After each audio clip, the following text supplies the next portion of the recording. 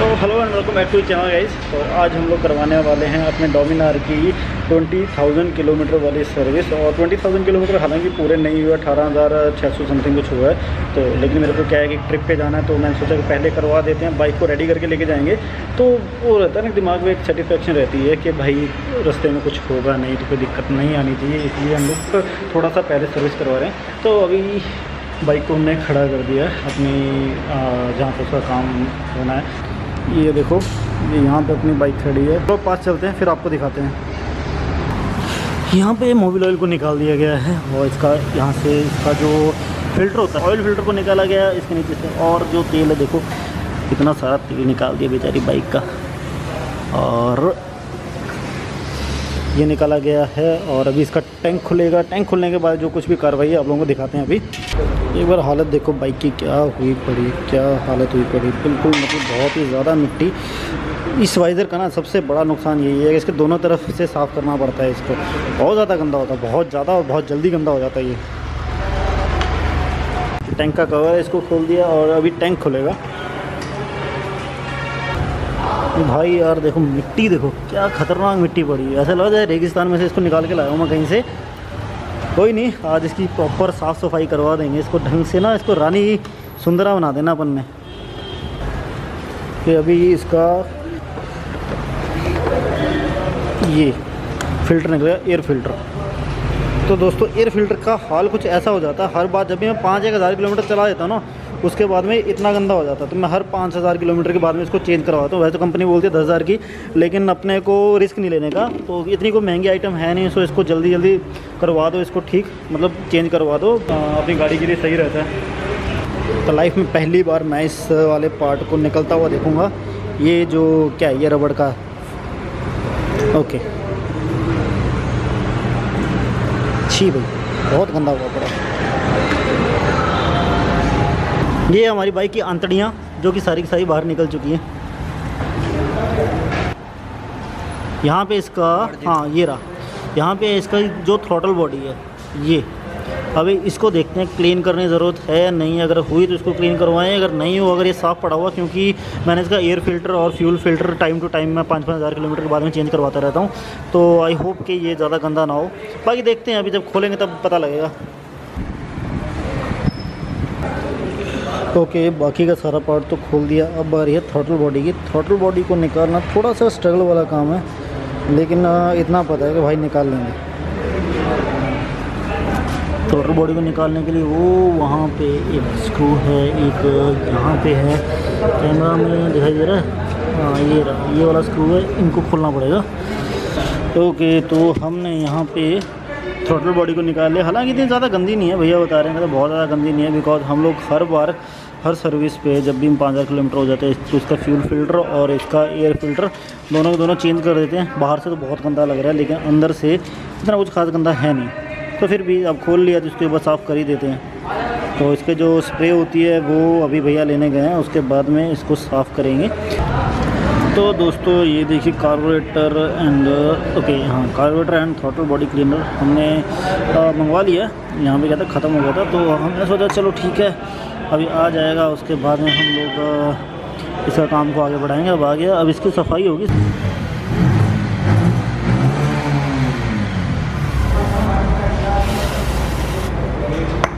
अभी हम लोग इसकी थ्रोटल बॉडी को क्लीन करते हैं और उसके बाद में आपको बिफोर एंड आफ्टर दोनों चीज़ें दिखाऊँगा कि इसको साफ़ करने के बाद में ये कैसी लगती है और पहले कैसी लगती थी।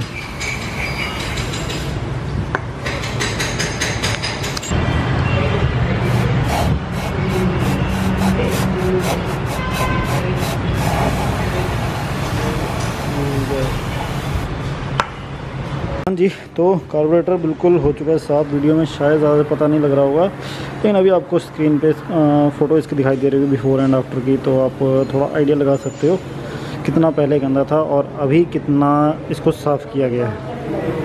अभी बस इसको एक बार फिट करते हैं। फिट करने के बाद में आप लोगों को आगे की कार्रवाई बताते हैं।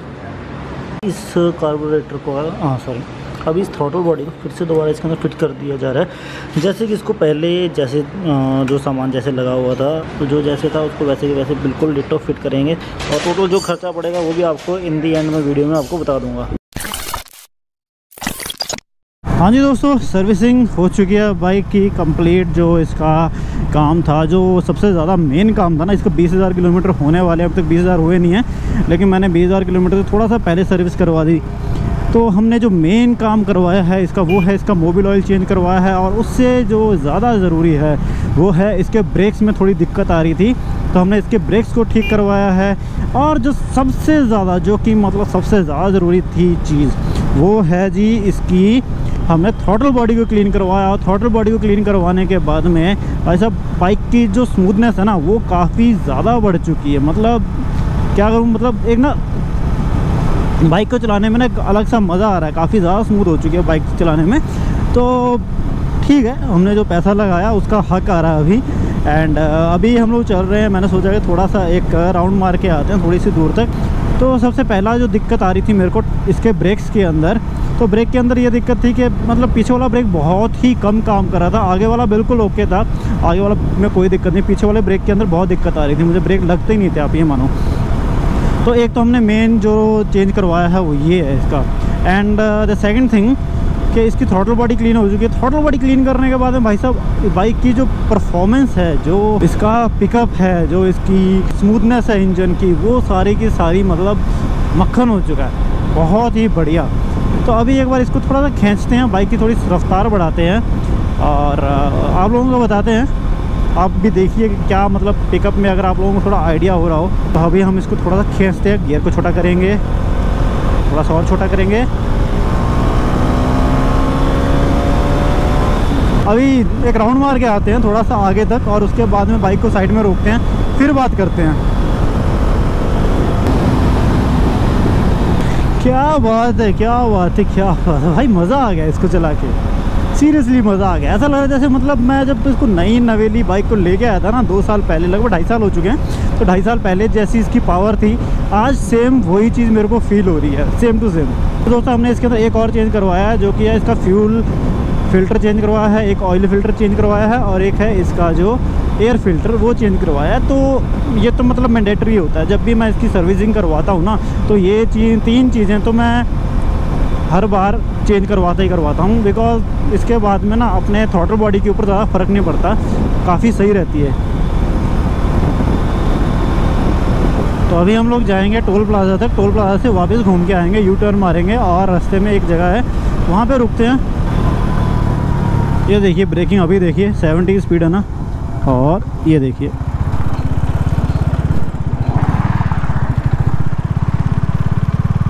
क्या बात है। अब हम ज़रा आहिस्ता आहिस्ता चलते हैं और बात करते हैं बाइक की सर्विस के बारे में। तो जो मैं इसकी मेन दिक्कत थी ब्रेकिंग की, हमने ब्रेकिंग इसकी ठीक करवा ली है। पीछे वाला टायर में थोड़ा इशू आ रहा था। ब्रेक ठीक से काम नहीं कर रहे थे। एक तो हमने वो चेंज करवा लिया है। दूसरा हमने इसका ऑयल फ़िल्टर चेंज करवा दिया मोबिल ऑयल चेंज करवा दिया एयर फ़िल्टर चेंज करवा दिया और फ्यूल फ़िल्टर भी हमने चेंज करवा दिया। एंड सबसे जो बड़ी बात है वो ये है कि मैंने इसके अंदर इंजन ऑयल चेंज किया है। तो इंजन ऑयल जो है मैंने डाला है, इसके अंदर शेल का फाइव डब्ल्यू थर्टी एक्चुअली मुझे फाइव डब्ल्यू फोर्टी मिला नहीं था तो मैंने फाइव डब्ल्यू थर्टी थर्टी डाल दिया। तो ये थर्टी वाला ग्रेड है ना, ये थोड़ा सा कम रह गया फोर्टी चाहिए था मुझे। कोई दिक्कत नहीं, इसको यूज़ करते हैं कुछ दिनों तक और इसका कैसा रिस्पॉन्स रहता है, वो भी आपको आने वाली वीडियोज़ के अंदर पता चल जाएगा। तो इसका जो टोटल ख़र्चा आया है अपने को सर्विसिंग करवाने का, बीस हज़ार किलोमीटर की सर्विस करवाने का, सब लोग बोलते हैं कि भाई साहब, कुछ लोग कहते हैं दस हज़ार का खर्चा आ गया, कुछ लोग कहते हैं कि भाई साहब पंद्रह हज़ार का आ गया इसका ख़र्चा। तो मेरा ख़र्चा बहुत कम है, उनसे बहुत कम है। एक तो अपने सर्विस सेंटर वाला दोस्त है तो और सेकंड थिंग के मैं बाइक को बहुत ही मतलब केयर करके रखता हूँ, बहुत संभाल के बाइक को रखता हूँ। आप लोगों को बता देते हैं कि बाइक के अंदर टोटल खर्चा कितना है। बाइक की सर्विसिंग में अपने को खर्चा आया है जी, लगभग लगभग ट्वेंटी टू हंड्रेड से पच्चीस सौ रुपये तक मतलब बाईस सौ से पच्चीस सौ रुपये का खर्चा आया है बाइक की सर्विसिंग में। तो एक्यूरेट मैं भी नहीं बता पाऊँगा कितना आया है। दोस्तों, हमने इसकी सर्विस करवा लिया सर्विस करवाने के बाद हमने इसके अंदर चेंज करवा लिया है। ऑयल फ़िल्टर चेंज करवाया है, फ्यूल फ़िल्टर चेंज करवाया है, एयर फ़िल्टर चेंज करवाया है और इसके ब्रेक्स कुछ काम करवाया। ब्रेक पैड काफ़ी सही पड़े थे और उन्होंने बस उसको थोड़ा सा मतलब सही करने वाला था उन्होंने, जैसे किया, मैं उसकी वीडियो नहीं बना पाया, क्योंकि मेरे थोड़े ऑफ़िस के काम भी चल रहे थे तो मैं सर्विस सेंटर में बाइक को दिया और अपने काम करने के लिए निकल गया था। तो दोस्तों, सबसे पहले हमें ज़रूरत थी इसकी थ्रोटल बॉडी क्लीन करवाने की। तो हम सबने सबसे पहले थ्रोटल बॉडी को क्लीन करवाया, उसके बाद में हमने इसके एयर फ़िल्टर चेंज कर दिया फ्यूल फ़िल्टर चेंज कर दिया और ऑयल फ़िल्टर ऑयल फ़िल्टर भी चेंज चेंज कर दिया। उसके बाद में इसके थोड़ा सा ब्रेक्स के अंदर इशू था, हमने ब्रेक्स को ठीक करवा दिया और उसके बाद में हमें ज़रूरत थी इसके शॉकर्स को देखने की कि इसके शॉकर कैसे हैं। तो इसके शॉकर जो हैं, शॉकर बहुत सही पड़े हैं। अभी तक शॉकर में ऐसा कुछ भी नहीं है कि इसके ऑयल या सील वगैरह में कोई दिक्कत हुई हो। हमने एक बार चेक करवा लिया, शॉकर बहुत सही चल रहे हैं। जो फ्रंट वाले डिस्क है, वो सही पड़े हैं। रियर वाले डिस्क है, वो भी सही पड़े हैं। तो कुल मिला के जो भी चीज़ें इसकी सही थी, वो चीज़ों को हमने नहीं छेड़ा बिल्कुल भी। और जो बिल्कुल नेसेसरी थी ना, हमने सिर्फ़ वही चेंज करवाया है। दूसरी बात के अपना खर्चा कितना आया बाइक की सर्विस करवाने में। बाइक की सर्विस करवाने में दोस्तों खर्चा आया है। लगभग बारह सौ रुपये का अपना Mobil oil after that hundred rupees का हंड्रेड एंड हंड्रेड टेन के बीच बीच में उसका प्राइस था, जो कि फ्यूल फ़िल्टर था और एयर फ़िल्टर था, वो शायद वन फिफ्टी या टू हंड्रेड के अराउंड था। और जो इसका दूसरे वाला फ़िल्टर था, जो ऑयल फ़िल्टर था, वो शायद सिक्सटी या सेवेंटी रुपीज़ इतने के आसपास का था। और जो सर्विसिंग का उन्होंने कॉस्ट लिया है मुझसे, वो है वन थाउज़ेंड रुपीज़ जो कि मैं कह रहा हूँ बहुत ही कम मुझसे सर्विस का कॉस्ट लिया मैंने पूछा भी नहीं, ना मैंने नेगोशिएट किया, उन्होंने जितना बोला, मैंने मैंने बोला, भैया, बहुत सही है, अपने को बाइक सही चलनी चलनी चाहिए अपनी बाइक तो आप समझ सकते हो कि मतलब जब बाइक सही है तो 200-400 रुपए का हम बार्गेन करते हुए अच्छे नहीं लगते। फ्यूचर में तो काम लेना ना।